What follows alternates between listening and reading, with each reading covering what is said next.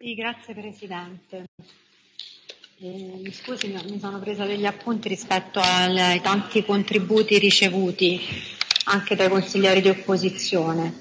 Eh, sicuramente ci tengo a dire quello che ho diciamo, già anticipato nella, nell'illustrazione della, della, delibera, che eh, lo spunto riflessivo e quindi l'input eh, nasce proprio da un dialogo che c'è stato ma non, eh, come dice il consigliere, il consigliere, Filomeni, solo dalla commissione del 20 ottobre scorso, adesso non ricordo perfettamente la data, ma già da, diciamo, dall'inizio della consigliatura, almeno per quanto mi riguarda sicuramente dalla,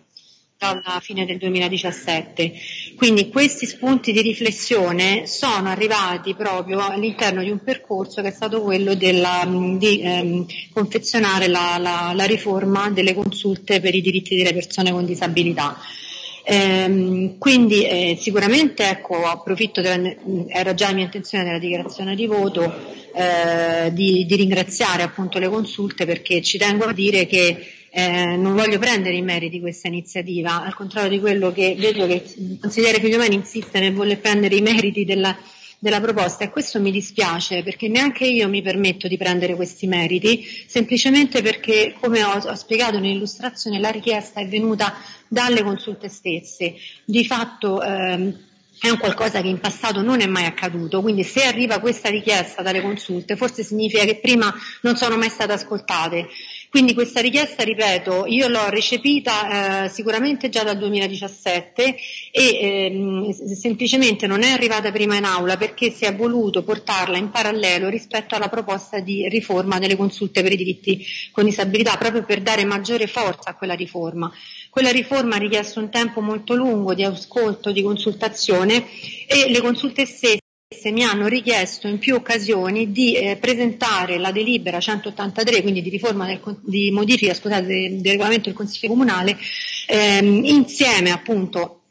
alla delibera eh, di riforma delle consulte per la disabilità, per i diritti scusate, delle persone con disabilità e possibilmente anche prima. E questo io ho fatto, quindi io ho accolto le loro richieste eh, proprio perché è vero, è corretto, è importante prima contestualizzare qualcosa che poi abbiamo detto non riguarda soltanto questo tipo di consulte, ma anche mh, le altre consulte che ricordiamo non sono da meno. Io so che la consulta per la sicurezza stradale lavora eh, molto bene, insomma ho avuto possibilità di interloquire sia con il presidente della, di quella consulta, eh, adesso non so se è cambiato rispetto a quello con cui avevo interagito io due anni fa, ma sicuramente eh, so che appunto mh, questo tipo di modifica che noi stiamo apportando nel regolamento del Consiglio eh, può, è sicuramente un, auspicabile anche da tutte le altre consulte, quindi l'intento è di rafforzarle eh, a tutto tondo e quindi poi anche di quelle che ci auguriamo ver, verranno. Quindi di fatto, ecco, ripeto, ringrazio in particolare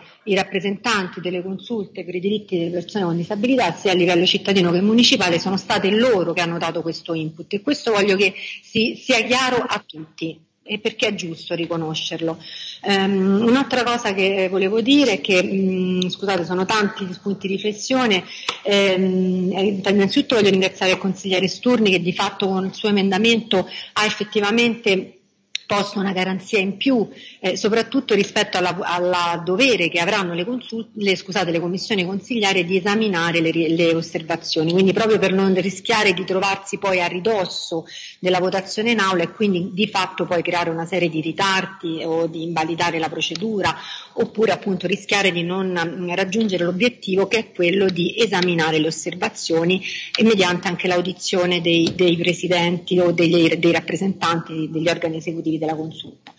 Eh, un'altra cosa che voglio dire, eh, innanzitutto beh, ringrazio il consigliere Zannolla per le parole che, che mi ha riservato perché è vero, è vero, io questo me lo riconosco, sicuramente ehm, ho ascoltato e quindi ecco questo è sicuramente il frutto di quell'ascolto, nulla più. Eh, ringrazio anche gli uffici, io ecco, una cosa ci tenevo a dire ai consiglieri De Priamo e Figliomeni, eh, non sono intervenuta prima però ecco perché mi riservavo di farlo adesso, mm, semplicemente non abbiamo accolto quegli emendamenti perché eh, appunto diciamo in qualche modo ho seguito anche le indicazioni degli uffici che un, con un parere tecnico contrario sicuramente avranno valutato che eh, diciamo, non era il caso di, appunto, di, di, mm, eh, di eseguire quelle modifiche, ma eh, di fatto diciamo, li ringrazio comunque per il contributo che hanno comunque voluto fornire al lavoro, ecco, non è un intento sicuramente di, di ostacolare in nessun modo, semplicemente mi sono anche un po' attenuta a quelli che sono i pareri degli uffici. Ehm, quindi una cosa voglio dire anche al consigliere Figliomeni, voi chi mi conosce sa che io non sono una persona polemica, però lui dice la consigliera ha ascoltato, ascoltato e non ha approvato gli emendamenti. Ascoltare non significa approvare tutto, questo lo dobbiamo sempre ricordare. E poi vabbè, una piccola nota di colore, insomma lui dice che qualcuno, qualcuno manca il fosforo, però lui ha sbagliato il mio cognome, insomma io gli, gli ricordo che il mio cognome è Paciocco. Velocemente voglio ringraziare gli uffici che hanno fornito un supporto alla formulazione del testo della proposta il loro contributo sicuramente è stato fondamentale, vista anche l'importanza di andare a rimodulare alcuni commi del regolamento del Consiglio di Roma Capitale su procedure consolidate e rilevanti nell'azione del Consiglio stesso. La delibera, come già illustrato in precedenza, garantisce il ruolo di legittimo interlocutore alle consulte cittadine nei confronti dell'amministrazione, consulte che sono i primi organismi di partecipazione, quelli più vicini all'amministrazione appunto, e quindi deputati ad essere ascoltati nelle fasi dei processi decisionali di Roma Capitale, nel rispetto delle reciproche autonomie e responsabilità. L'obiettivo ultimo è quello di valorizzare lo strumento delle consulte attraverso un'impostazione basata sul dialogo continuo con gli organi politici e amministrativi, ovviamente sull'incardinamento del loro coinvolgimento negli iter deliberativi degli atti di natura consigliare, senza appesantire, invalidare o ritardare l'iter standard. In questi quattro anni, questo però ci tengo a dirlo, scusate mi prendo forse qualche secondo in più, noi consiglieri di maggioranza sicuramente abbiamo cercato di coinvolgere il più possibile le consulte nell'analisi delle proposte di loro competenza e mi riferisco in questo caso, come già anticipato, alle consulte per i diritti delle persone con disabilità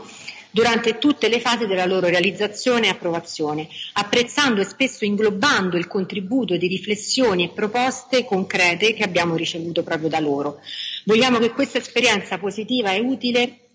sia messa a sistema tramite una regolamentazione puntuale e permanente, al fine di garantire che queste interlocuzioni si svolgeranno sempre da qui in avanti e con qualsiasi amministrazione si succederà negli anni a venire favorendo così un dialogo continuo e costruttivo tra cittadini, organizzazioni e istituzioni.